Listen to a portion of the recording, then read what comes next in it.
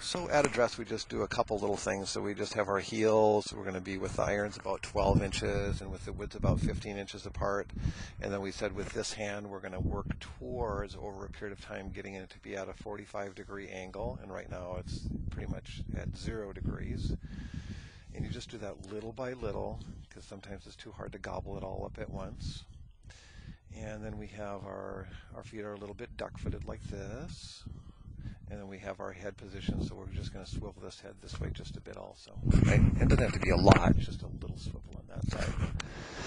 And we have our spine angle on this side, and we have our plane angle. It is what it is. All that stuff looks good. So at address, this looks nice. Good. And then a little bit of knee bend looks nice, and the arms are hanging right, and the head is down instead of up. All that stuff looks really good